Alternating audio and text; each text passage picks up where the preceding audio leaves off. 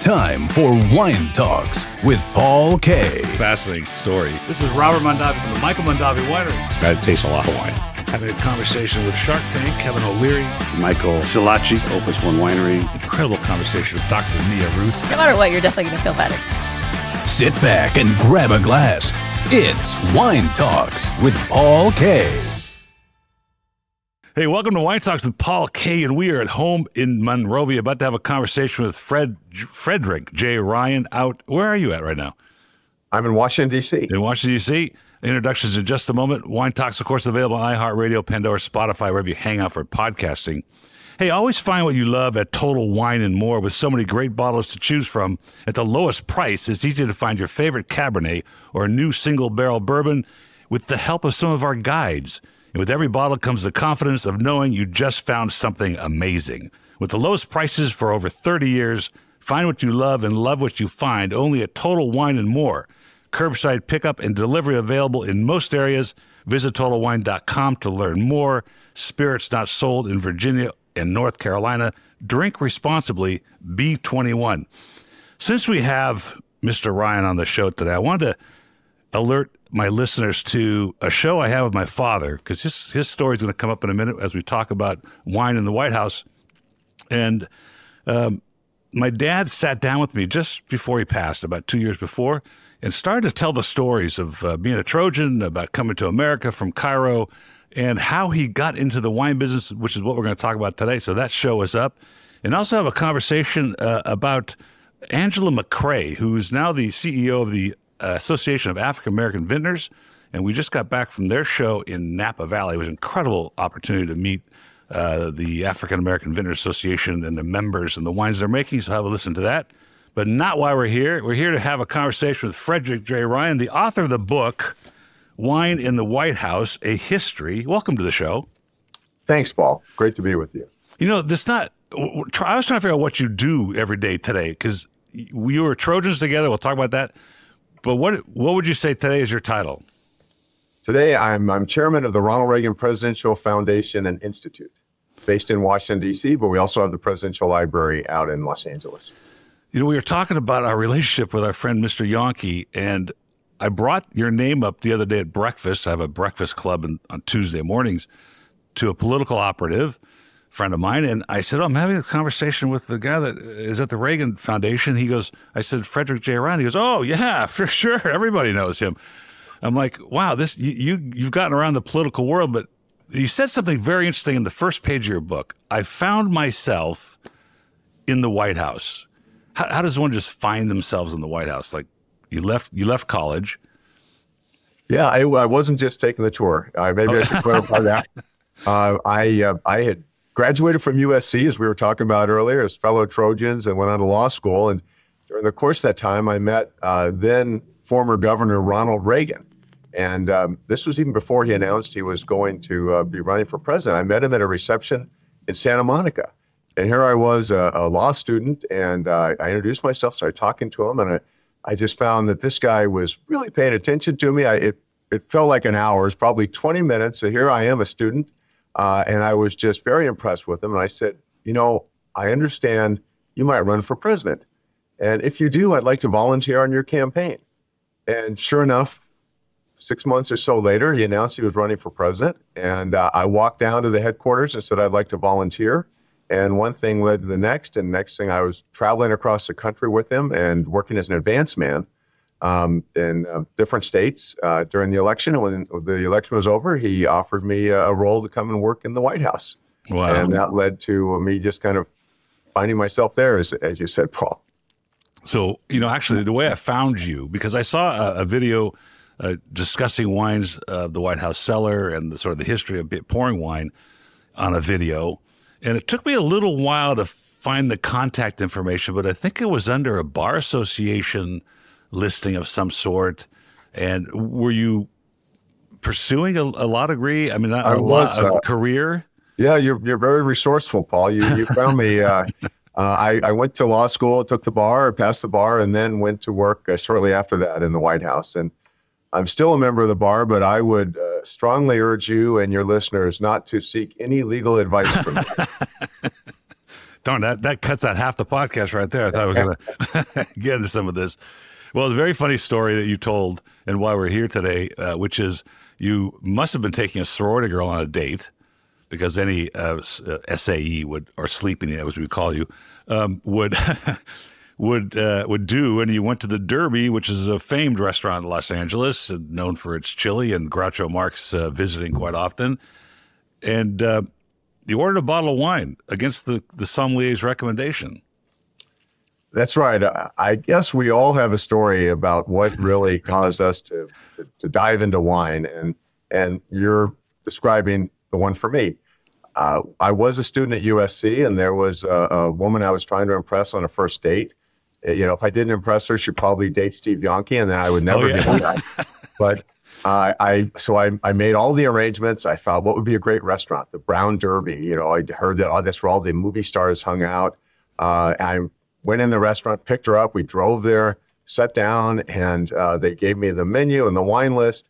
And we decided we're going to have prime rib. That was the, the special of the house. And by the way, the stuff about the movie stars, that'd been a decade or two before, back in oh, Bradley yeah. Mark there. There weren't any movie stars, at least any that we could recognize there.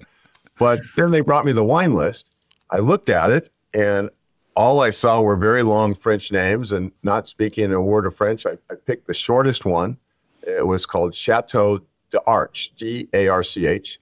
And I said, uh, I'll have the Chateau d'Arche. And the, the, sommelier said, No, I, I don't think that's the wine you want. And I said, No, wait, I always have that. And he goes, With your prime rib? I said, Yes, I always have that wine with my prime rib, trying to impress my date. So sure enough, they bring us the prime rib. Then they come out with this chilled bottle of dessert Sauternes Chateau wow. d'Arche. And they pour it in both of our glasses. And wow even my date, who didn't know much about wine, knew that I had really screwed that up. you know, well, I decided though, you know, like I said, how do we all get into wine? Yeah. I decided I was going to go try to learn about wine, and I signed up for wine classes at USC. You may have been in there, the seat next to me, but uh, learned about wine there, and then started making trips up to Napa Valley, and that was kind of the beginning of my interest. Well, I was a beta, so we didn't really have wine. You were around. drinking milk. that was milk at the beta house, yeah, right? we had it was always whether or not you're going to have a, a, keg of beer at the chapter meeting was my decision as the president.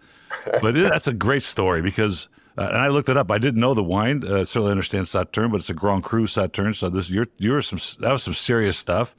Uh, and certainly uh, uh, with the sugar content of uh, Sauternes, you're probably not going to do well with the prime rib. I mean, did you ever date the girl again, or that was no? That, that was a one and done. so that's a kind of a fun story to, to to jump off into the wine part of this because you've written the book Wine and the White House, uh, a history, and it's uh, I've been through most of it. I'm fascinated by the stories, uh, the accuracy.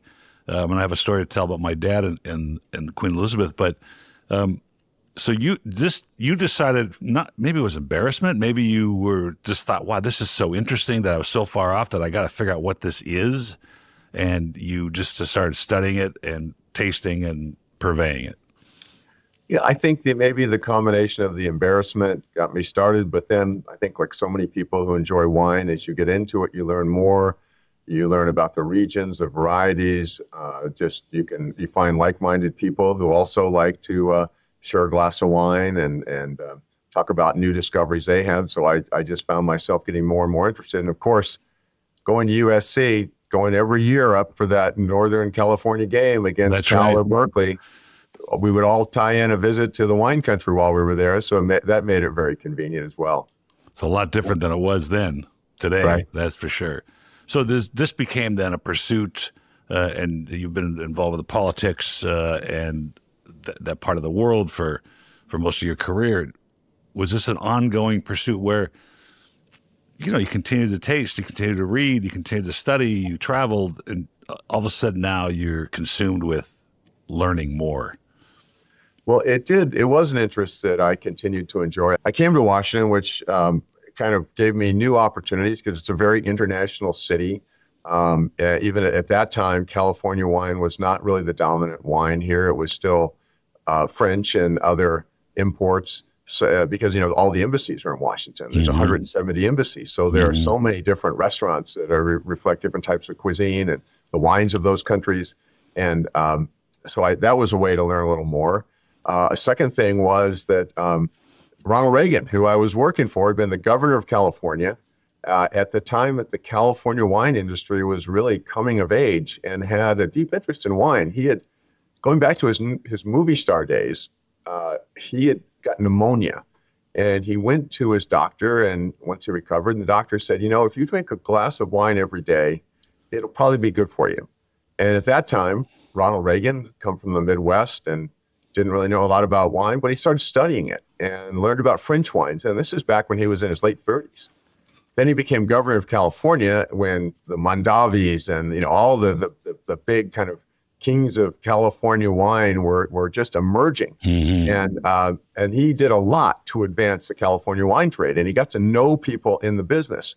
So he brought that knowledge. So here I'm working for somebody, albeit at that time at a fairly junior level, who had a great interest in wine. And then the third thing was, um, I don't know if I'm if I mentioned this in this book, but uh, I would go into on Saturday mornings. I would go into a place called Addie Basson's MacArthur Liquors in Washington D.C., and it was kind of the place that wine interested people would go, and you taste a few wines. And there was this guy who would most Saturdays would be there sitting at the counter with his brown printed reviews of wine. Robert Parker. Wow. And uh, he was based here and was uh, wow. uh, he was from Monkton, Maryland, just out near Baltimore, and and he wasn't of the you know the, he, they've called him the emperor of wine he wasn't he hadn't quite arrived to that level yet but he was a very knowledgeable person so we would get to hear his ratings on wine and buy a couple bottles so all those things kind of to answer your question all of those things kind of led to my increased interest in wine well, I'm, going to talk about this toward the end of the show. We're going to talk about sort of the contemporary issues that face the wine industry because there's plenty. Uh, consumerism's a mess. Uh, on, online sales are, are diving. Um, and I think it's going back to, I really believe it's going back to the experience that you're having where you have these face to face handshake uh, tastings where you get to learn the stories and have this thing. But I'm going to tell you a quick story and then we're going to talk about wine in the White House. My father, uh, you know, invented the idea of wine in the mail in 1972. But prior to that, in 1959, uh, he was reading the LA Times at his wine at his sorry pharmacy in Inglewood, where he started his career as a pharmacist. And it was announced that Queen Elizabeth was coming, and Pre- President Eisenhower was pouring a Krug Special Select. Um, and my dad calls his Lions Club friend who owns the liquor store, which is not a wine shop, but he gets him a case of, I think it was the 56 or the 58 or something. And I got to researching to validate my dad's story. Now, I'm pretty confident my dad's very confident about the idea that he was staying at this pharmacy and he was reading the LA Times, and I found the article in the LA Times uh, through the archives. But it turns out it looked like he did pour this Charles Krug Cabernet for the Queen, but it wasn't a state dinner. And it wasn't until I think Lyndon Johnson poured the same wine actually at a state dinner for, I don't know, Pakistan or something like that. So, is there any accuracy to the idea that they might have started pouring American wines you know, before the state dinners, like more like at lunchtime or some other kind of meeting? Yeah, they. Uh, it, it's interesting to look at the history of, of California wines, and, and, as you know, there was a whole evolution over the years from George Washington's time up to the present of what varieties were served, where, where they were from, which countries, and then, of course, American wines. And in the Eisenhower administration, they did start, but the very, very first time that I could find any connection of California wine with the White House goes all the way back to Abraham Lincoln. And wow. In 1864, he was sent a case of California wine, 1859 vintage, from a guy he'd appointed to a presidential appointment up in San Francisco. I think it was the commissioner of the San Francisco Bay. And as a gesture of gratitude, he sent him this kind of unique gift, California wine. Who'd heard of that? Now, I don't know if Lincoln drank it, and he didn't drink much anyway, so I don't know what happened to that wine, but I knew it reached the White House. But that's, that's all the way back in 1864. If you fast forward um, to the time you were talking about, you know, we had prohibition, and uh, that eliminated most of the production of American wine. And then we had World War II, and that eliminated the importation of wine. So we found ourselves after the war kind of in this Truman Eisenhower era as a cocktail nation cocktails were more popular drinks at the time. But the White House, following the traditions, would still serve very fine wines to distinguished visitors. You know, we were this tradition early in our history began. We wanted to have to show the rest of the world that we'd arrived. We had a beautiful mansion, the White House. We had incredible art on the wall. We had this amazing glassware, the decanters and the glasses with the presidential seals and all the engraving. And we wanted to serve great wines. So we continue to serve wines. But just as you've identified, American wines had not yet arrived and they didn't have the prestige that Bordeaux's had, Burgundy's had. So Eisenhower would serve them, but he wouldn't serve it at the main event. He would serve a, a, a first growth Bordeaux maybe at the state dinner. But when a head of state comes, there are other events. There's often a lunch, there's a mm-hmm. reciprocal dinner. And those were times where the president would have a chance to serve maybe as a bit of a novelty uh, an American wine to a, a visiting distinguished guest. That is so fascinating because I'm looking at the list. For the listeners, this book is fabulous. It's heavy, but it's got uh, amazing uh, dossiers of of the menus and the wine served with the food and who served it, and some handwritten notes next to those uh, vintages. It was just fascinating to see the Burgundies. And I mean, I just saw somebody was pouring an Echezeaux. I mean, it's amazing to see that and how important it is for the for the culture of the White House. You don't, you may not put that together, but it seems rather.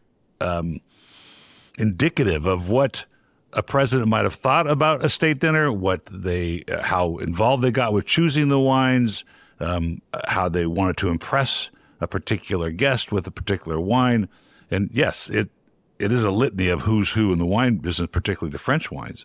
But what I find fascinating, and this you can shed some light on this, is I was looking at some of the American wines poured that were where it became more regular. Almaden Blanc de Blanc, Right. I mean, we still have my dad's liquor store, you know? Yeah. Uh, uh, Inglenook Chardonnay, which, you know, probably still has some pedigree. Louis Martini Cabernet. All these brands have become yep. these huge mainstream corporate brands now.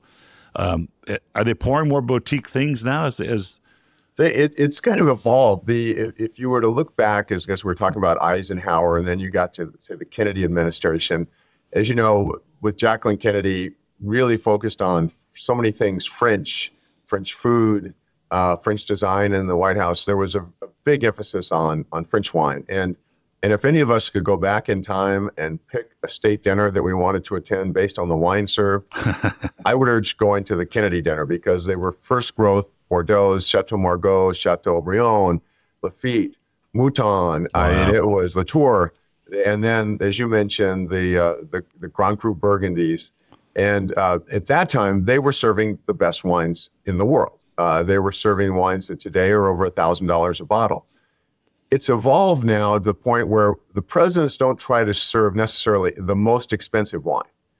They want, at a state dinner, they want to showcase great things about America. So they might have a great uh, chef come in and prepare a meal. They'll have great entertainment. They'll invite interesting people, and then they'll pick a wine that showcases just great American winemaking. It won't necessarily be a cult wine it'll certainly be a wine that meets the standards, so no guests would be offended and they would enjoy it. But it's it's not the most expensive star wines. It's often new discoveries or wines that have a connection to the guest. For example, uh, if an Italian prime minister is coming, they might serve an American wine, or they would serve an American wine, but it might be made by an Italian winemaker who lives in the United States, mm. uh, or and th- this goes back. Actually, Ronald Reagan is the one who who began this. He he had uh, the Prime Minister of France, Jacques Chirac, who had been a longtime friend of his. They knew each other well, and they both had interest in wine. And Jacques Chirac, Ronald Reagan had invited him to come to the White House for a state dinner. So this is like the superpower of wine is coming. What do you serve? How do you manage that? So he didn't want to offend his guests, but he wanted to also showcase great American wine. So he chose Opus One, joint venture. That's right. With Rothschild and yeah. Robert Mondavi. So yeah. both sides could claim victory. That's a, that's a very political decision. I love that. uh, you know, it's interesting. You just said this. Uh, I'm wondering because I don't think in my career, and I, I, think we talked about a little bit what I've done in tasting wines every Tuesday for 35 years. Have anybody come to me and said, "Oh, we're they're poured this at the White House"? I mean, I saw Clos du Val have been poured. Uh, certainly, we talked about some of those other things, but I wonder is is it forbidden to talk about what's poured, even though it's public record? Uh, it's if if your wine is is poured in the White House, um, you are um, you will you won't be it won't be poured again if you become aggressive in the marketing. Really, uh, but they they they allow you to you know to showcase that it's been done. For example, a great example is Schramsberg sparkling wine. Mm. You know, that that wine, by the way, has been served by more presidents than any other wine, and it's been served at state dinners. It was originally served by Richard Nixon, mm-hmm. who was very knowledgeable about wine and he brought it when he did that first trip that opened China. He wanted to bring uh, appropriate bottle of wine. So he brought, it was 1972, the trip took place. He brought a 1969 vintage of uh, Schramsberg, Blanc de Blanc. And every single president since then has served it. Now, they don't advertise as the wine of the presidents, and that would probably cause the White House to, to retreat a little mm-hmm. bit in serving the wine. But if you go into Schramsberg, they've got a beautiful museum basically that shows the history of their wine being served at all these important occasions, and they have the menus on the wall. So they they strike a balance of letting the winemaker express their pride in being chosen by the president of the United States to have their wine served, but they don't want you to be aggressively marketing off of it. I remember that. I, my father's store carried it. Um, you know, I was a teenager, but um, we told that story. We told the story. This is the wine that Nixon took to China, right? And I, and I think you know that that year of the seventies. You're talking about seventy two, and uh, you know, of course, the Judgment of Paris. We'll talk about that in seventy six.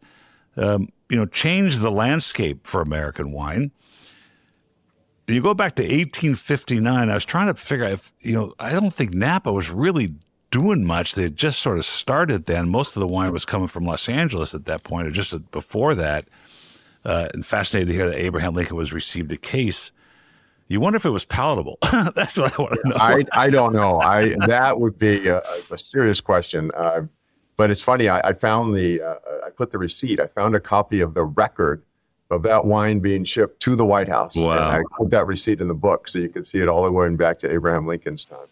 That's why the book, Paul. That's why the book is over 450 pages and weighs six pounds. Yeah. Just because no book has ever been done on this subject. And I started off doing this with a much more modest idea in mind. Um, and it was, I think, as you know, it was published with all the proceeds. 100% of every penny in the price goes to the educational fund of the White House Historical Association. So I, I decided as I did this, I kept finding more and more information, things that I'd never heard of, never seen before. And I thought, if this is the only book, I better put it in there. And things like uh, I was talking to the the proprietor of Chateau Yquem, which mm-hmm. you know, as you know, is one of the great wines of the world. Sauterne, it's, it's uh, been around for uh, Pierre Pierre Lurton, yes, and uh, it, has been around for hundreds of years. I was talking to him about this book because I've gotten to know him over the years, and he said, uh, and I was talking about the presidents, and he said, "Oh, I have a letter from Thomas Jefferson on my desk." And I said, wow. "Well, that's kind of interesting. I don't think too many of us can say we have letters from Thomas Jefferson on our desk. And what's it say?" And can I have a copy of it? And uh, he gave a copy and I put in the book. And this is when Jefferson, when, when was uh, advising uh, George Washington, who had just been president of the United States. And Jefferson writes to Chateau Yquem and he said, Our new president, General Washington, has an interest in wine, and I think he would like yours. And he goes on to say, So please send him 30 dozen bottles. wow. And and while you're at it, send me 10 dozen bottles as well. So wow. was the first president of the United States, and here's a, his emissary to to France obtaining Chateau Yquem for him to enjoy. That's a fascinating story. Uh, to and particularly a Sauterne, which is just you know for the listeners a very sweet wine and very expensive wine because it's made from you know molded and dried grapes, so the juice content is pretty low. Let's talk about Thomas Jefferson a minute because I had uh, on Anne Parent on my show years ago, and it's a, a biodynamic farm in Burgundy, uh, Pommard, and th- things like that. And she said that Thomas Jefferson was there and brought home her cuttings, her parents or her great grandparents' cuttings. Is that are you aware of that? And then was that his soiree into the into the wine world? Because I at, even at the African American wine tasting I went to two weeks ago, there were four wineries there from Virginia yeah. I've tasted many Virginian wines, and you know they're they're there's some actually decent wines. But um, was that what his sort of personal uh, uh, you know, travels brought him to do and see if he could make it work? And I know he had trouble doing it the first time around, but well, he went. Uh, you know, he here he, he gets dispatched to Paris as our emissary there, and he finds Benjamin Franklin there before him, and sees that Benjamin Franklin had already his kind of uh, discovered the world of French wine and French food, and has a cellar with more than two thousand bottles in it. So Jefferson starts to learn from him, but then being very curious on his own, he goes out and tours the wine regions of France and Italy he went through Burgundy. Uh, he went through Bordeaux. He even did his own ranking. As you know, the famous 1855 mm-hmm. classification had the, the five different levels, premier cru. He made his own ranking, and he had four out of the five that were picked. wow. Uh, that was 75 years later. He had Margaux, Haut-Brion, uh, he had Lafitte and Latour. Wow. As, the top four. And then it wasn't for another 75 years that that official ranking took place. But he, he traveled, he tasted them, he got to know the proprietors, he made copious notes. And then when he returned, he, he knew how to, to try to get wines and have them, have them shipped over. But I don't know that he brought back uh, those uh, uh, clippings, uh, cuttings from uh, Burgundy. I, I do know once he was president, and we left uh, the office of presidency, and he went to Monticello, his country home, where he was going to retire.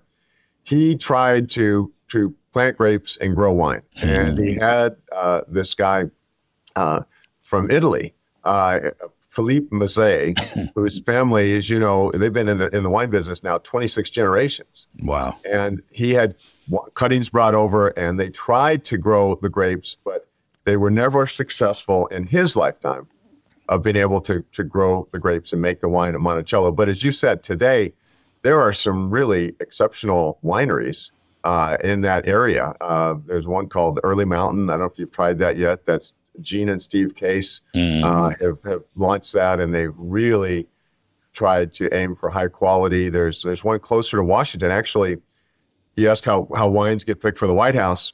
There's one closer to Washington called RDV. It's uh, the proprietor is Rutger de Vink, and he uh, really has focused on on growing and great great grapes and making a terrific wine. Well, during the Obama administration, Michelle Obama, who was kind of the wine enthusiast in the family, President Obama is more interested in beer, but she knew wine, and she would have her girlfriends come over for a wine tasting every once in a while, and they went out to the Virginia countryside while she was first lady and went to RDV Vineyards wow. and they tasted the wine and she liked it so much that she served it at the next state dinner at the White House. Wow, what a great so, story! Yeah, so they're uh, so Virginia is is making great wines now, but unfortunately, Thomas Jefferson, although he was, I believe, the, the by far foremost president with expertise and knowledge, kind of the founding father of wine for uh, Americans, uh, he did not uh, make wine during his lifetime. I'm gonna I'm gonna pull that episode up and listen to her and see if uh, she gives us more information. You know, it's a labor of love to do that on the East Coast. I mean, just to veer off for a second, I was out in Millbrook, New York, uh, years ago, buying a small wine club, and it was three feet of snow, and there's people out in their dry suits pruning. Yeah, and I'm thinking, what are you pruning for? I mean, it can't be, it can't be very good, and you're going to make wine here, but uh, I t- the wines I tasted the other day were rather solid, and I did feature a Prince Michel, I think it was, in the club years ago. Uh, so it's interesting because there's a guy.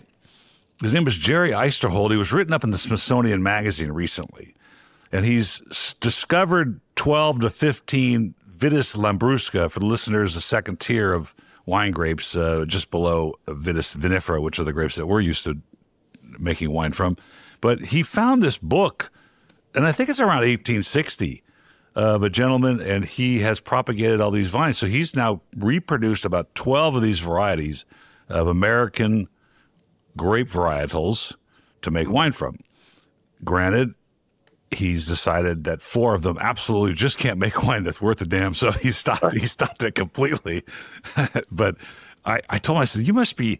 And he's in Missouri. I said, you have all the variables ahead of you that you've got to figure out. I mean, how do you know with 12 grapes you've never heard of that have never been planted recently and the different soil types and the different elevations you got to work with? You have permutations that are going to be mind boggling. He goes, Yeah, it's, it's pretty hard.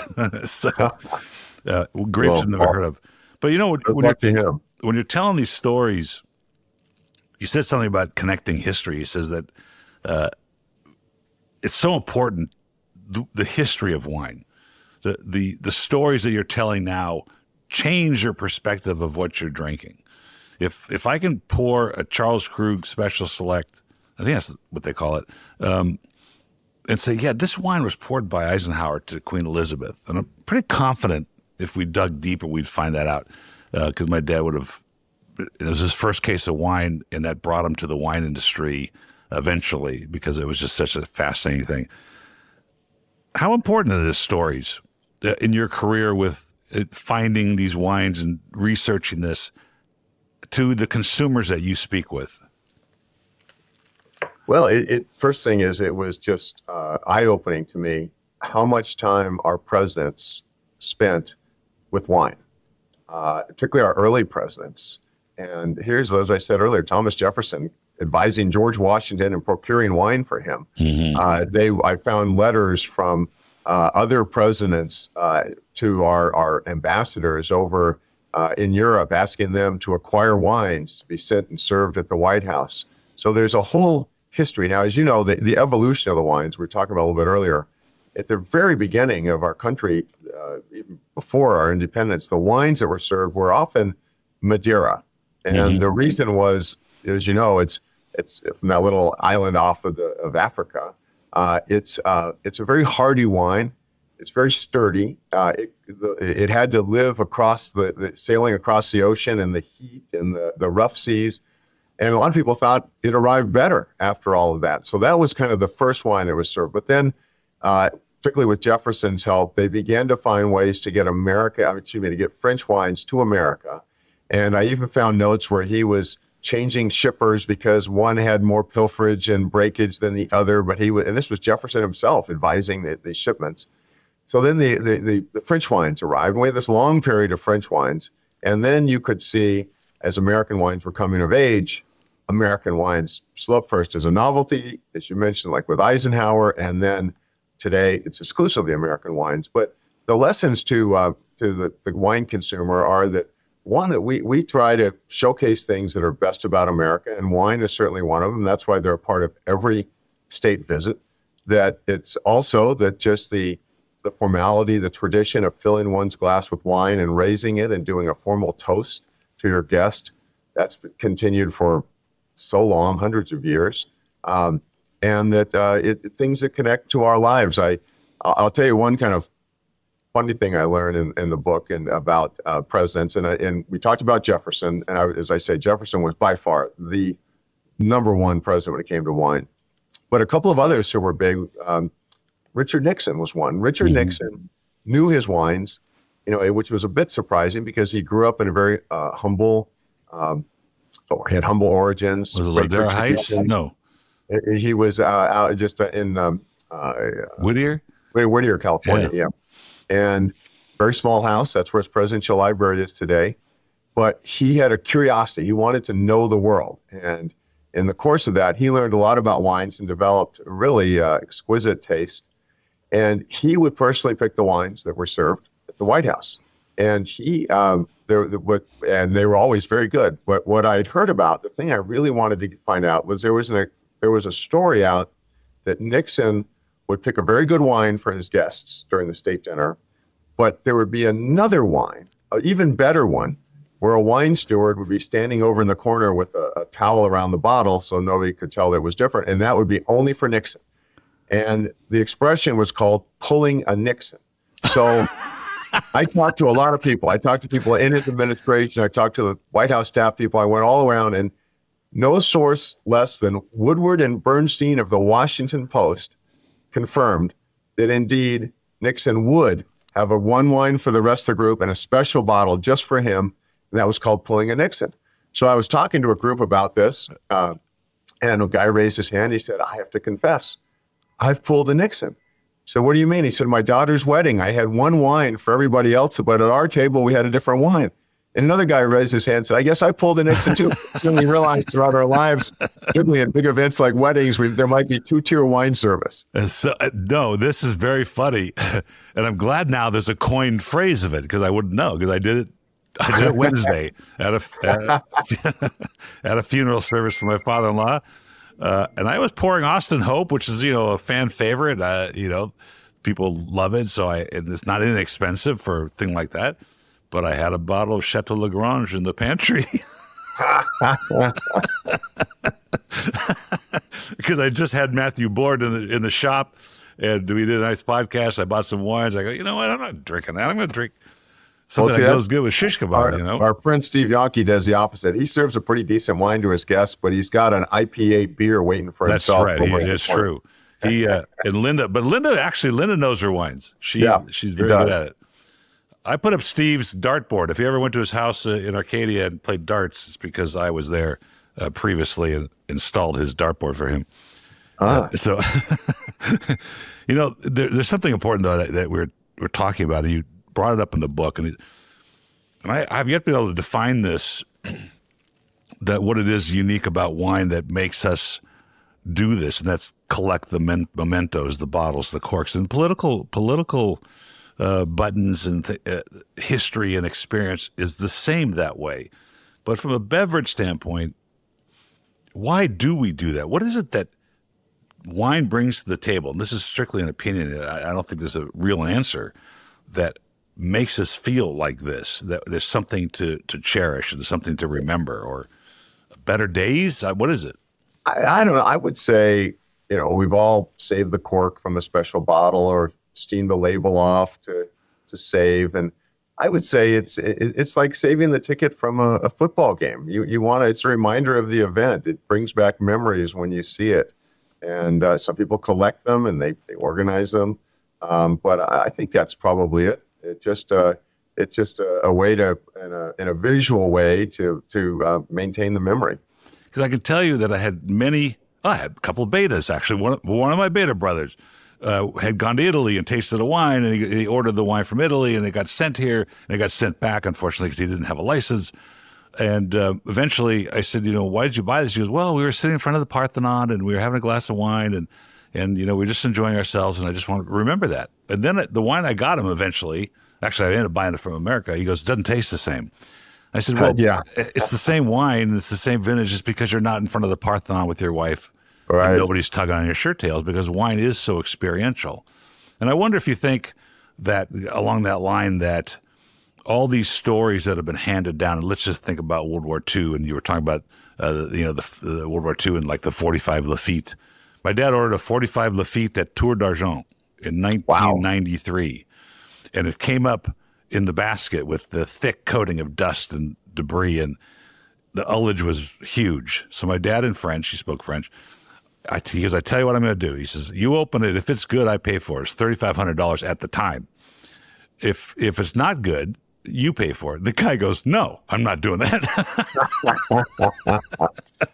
so he sent it back and we got a Cos d'Estournel uh, 62. So it was still very good. You did, yeah, you did all right. Yeah, but you know, the, these stories that you're bringing forward, and I, and I, I think uh, he's just want to sort of to parallel it is is the Nazis coming to Bordeaux.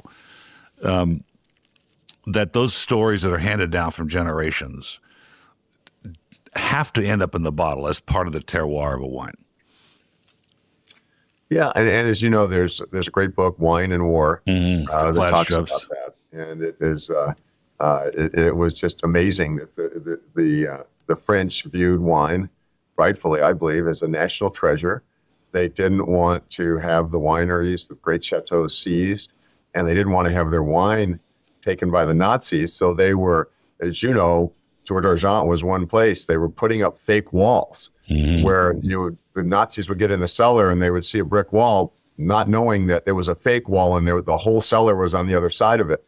They were taking wine and burying it in, in huge plots out in Bordeaux.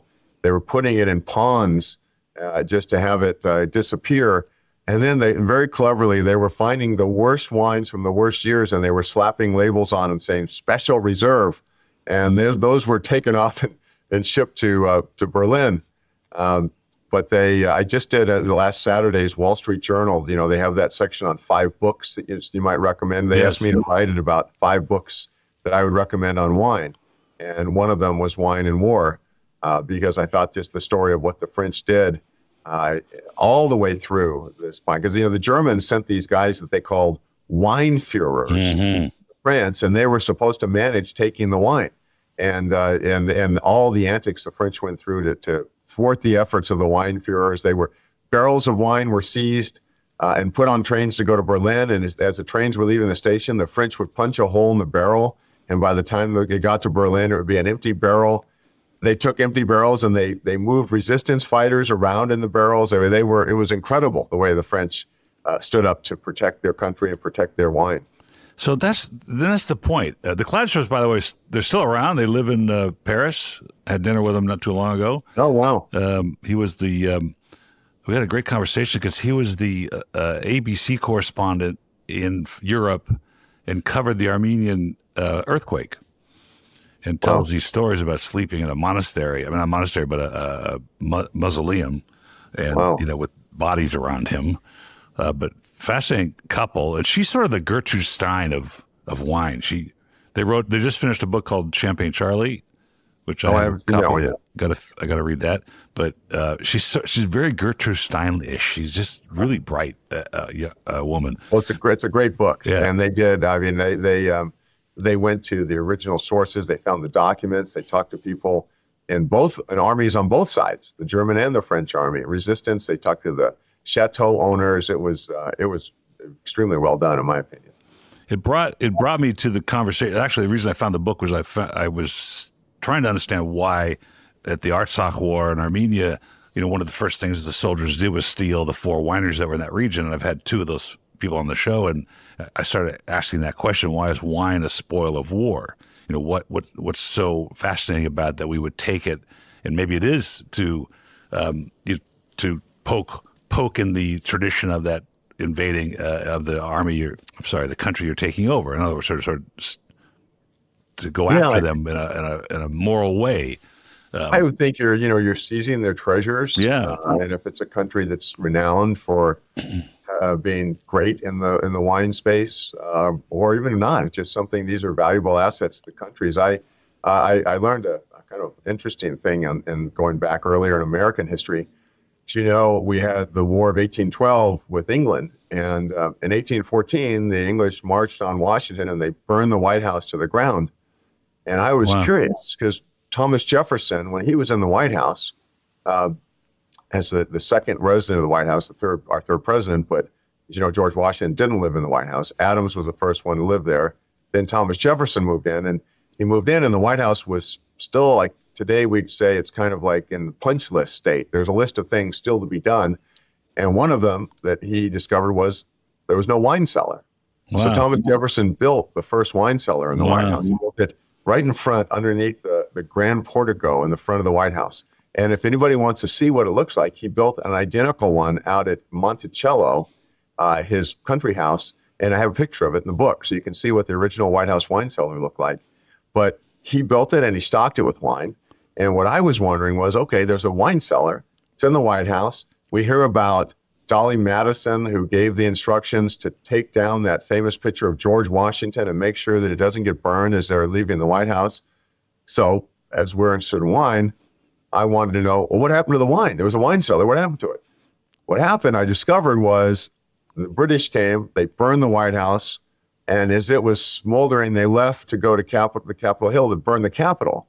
Then the American troops arrive at the White House to defend. The British are gone. The White House is burned, but they see there's this wine cellar down the front. So the American troops went down and they drank the wine from the president's wine cellar. So uh, th- our own troops got to enjoy the spoils of war. That's amazing. What a great story. I was just that was actually the question I had. It was like, is there a cellar there? And I think the video I watched, you were in the cellar. Uh, is but is it active? Do they, you know? No, they, you know, this is something that will uh, disappoint all all wine enthusiasts, and I, it's something I found out years ago when I when I worked in the White House. I wanted to see the White House wine cellar. And uh, I asked the guy who was in charge, and he said, "Well, busy now, whatever." And he finally one one August when the president and first lady were gone, he said, "All right, I'm going to show you the wine cellar." Now I had these visions that there would be this giant wine cellar with big domes and dust and rack after rack, and maybe a bottle of Thomas Jefferson's wine sitting in the corner or something. And um, and no, by the way, uh, uh, the, the Queen of England has 38,000 bottles of wine. Wow. King of England now. It's in the royal collection. 38,000 bottles of wine. The Elysee Palace in Paris has more than 18,000 bottles of wine. Wow. So I'm all excited. I want to see the wine cellar. I go in there. I learn the White House no longer has a wine cellar. It has a very small closet that can hold maybe 300 bottles.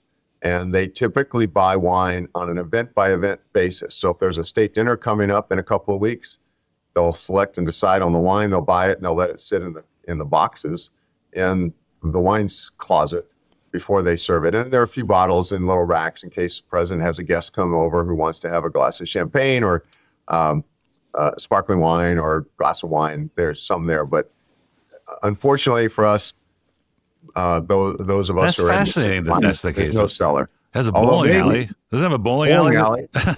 there is. There's a bowling alley. There's tennis courts. There's uh, you can throw horseshoes. Uh, there are a lot of different things, but there's no wine cellar. But maybe one day we'll find somebody who says, if you elect me president of the United States, I'll build the biggest, best, greatest wine cellar of any head of state around the world. Because I, I, when I sold the company in May, the gentleman bought it and he all bought all my regular stuff, which is mostly fifteen to twenty dollar retail stuff. And I had, I don't know, I had like close to three thousand bottles that I collected during COVID and whatever of Grand Crus and some classified growth and all kinds of interesting things. He wanted none of it, and I didn't have a cellar either. Actually, after after all these years, so I built one. It still only holds like nine hundred bottles, but not enough. But That'll get you through a couple weeks. things could be worse. So those we're- coming over. yeah, that's right. Tell me about the toasting that goes on at the White House. Is there a, a tradition there? Um, you know, like the French have a toast, the Armenians have a toast. Is there? Uh, is it part of the curriculum when at a state dinner? It is. It's um, and I, I learned a lot about toasting, by the way, in this book. Fact, as you'll see, there's an entire chapter on toasting, the origins of it, and then some of the toasts that presidents have given over the years. But just going back to the origin of it, I w- it, it was a little less than glamorous when I learned how, because I want to know where did this come from. Mm-hmm.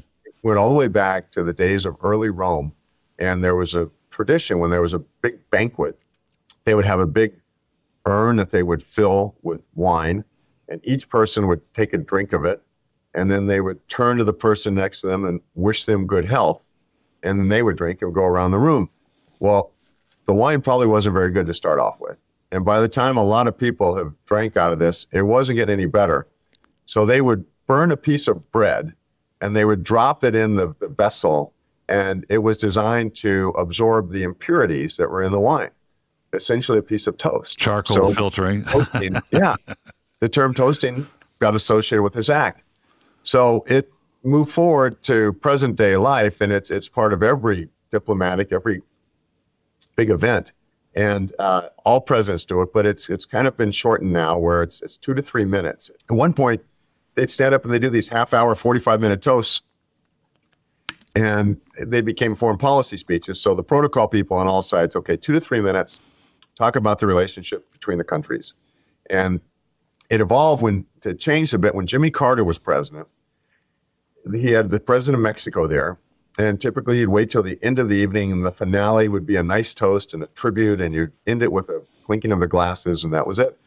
Well, Jimmy Carter, for some reason, just stood up at the very beginning of the evening, before his wine had even been poured, walked up the podium with his water glass, and he made the toast. And then he realized he didn't have any wine and it wasn't a wine glass. So he went down and he got his wine glass filled and he went back up and he made the toast again just to make sure that it was official. Official of the And wine. Every single president since then has followed that example. They get the toast out of the way at the beginning so they don't have to think about it all evening. They can enjoy themselves and have good conversation and good glass of wine with their guests. It is Um, intimidating, right? I mean, you you're thinking, what am I going to say? What am I going to say? What am I going to say? And then you try to say it, and it doesn't come out the way you wanted it. You know, There were some. I mean, the presidents and I included them in there. Some were serious toasts. Some were funny toasts. Uh, some of them uh, would, talk about. And typically, they talk about the historical connections between our countries. Um, I included them in there, but I also, Paul, included this other section in the book. I, I found, as you saw when you went through, I found all these short little quotes uh, about by presidents or by prominent people in the wine space, and um, I thought they might be useful to for people who want to use them in a toast, Yeah. or they might want to, if you're making a speech, you might want to quote it. Uh, so I have a number of them from presidents and all, but uh, and I put them every couple pages. You'll see just a little two or three sentence toast or a little witty statement. But the one that I really love the most, because you can't talk about wine without talking about Winston Churchill, and he came to the White House and Roosevelt entertained him, and I, I got the list of the wines that every meal had wine and or brandy or scotch or champagne served, breakfast, lunch, and dinner. Um, but there was a great quote by Winston Churchill that I put in there, and he was talking about, uh, as you know, bottles of wine. There's the regular size bottle, and then a, a double bottle is called a magnum, and as you know, they get larger and larger. So the quote he had was, he said, "A magnum of wine is the perfect size bottle for two gentlemen to enjoy over lunch, especially if one isn't drinking." wow. He well, he was known for that anyway. He was actually a big fan of Armenian brandy as well. Huh. We're at 51 minutes already, but I have so much to talk about. But probably have to do this again. But there was one thing. There was a question that somebody had asked you prior and a thing, and it was about uh, Woodrow Wilson and the um, Volstead Act. And we just got back from Savannah. We went to the Prohibition Museum, and so Oh. maybe this is a more contemporary question, but um, you know, it wasn't really repealed. It was just broken up into 50 different versions. And in some cases, you know, still dry states or states control all the alcohol. Is there any active um, pursuit to remove that act and just give control back to, you know, this regular, like any other product?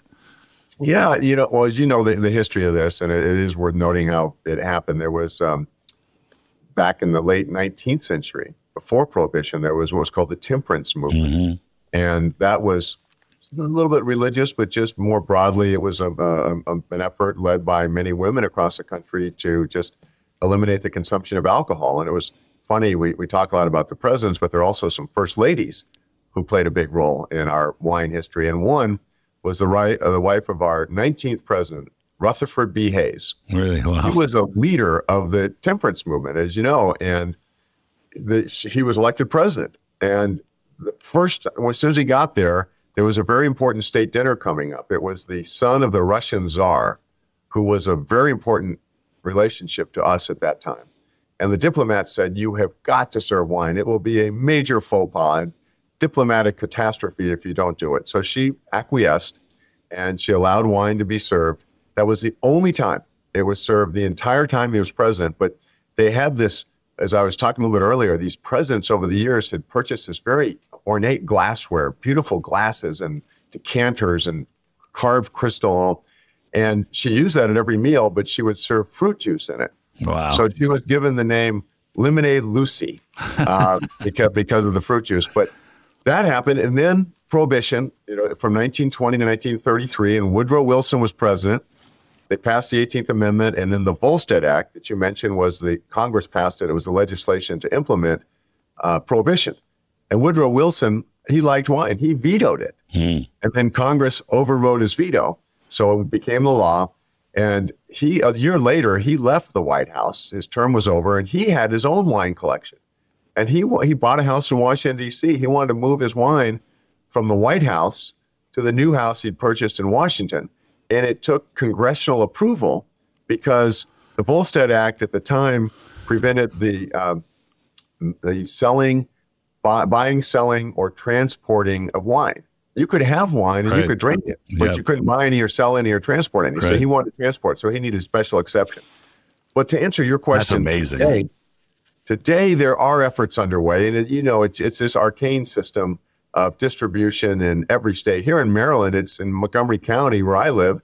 It's controlled by the county. The same people work in the wine store who work in the county library, uh, and it's a it's a county operation.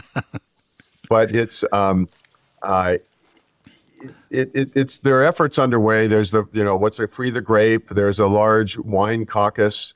Uh, members of Congress are involved in. So there's a lot of activity. I, I don't know when all these laws will change though, because there there are very influential interests on all sides. It's the w, WSWA, wholesaler spirits and uh, wine distributors that you know I wouldn't even allow. I was as a retailer at the time, and being a guy that shipped wine, I wasn't even allowed to, to the meetings. They would not let me in. I had to use a different badge, somebody else's badge, wow. to go listen to what they're why they're fighting people like me to ship wine into a state.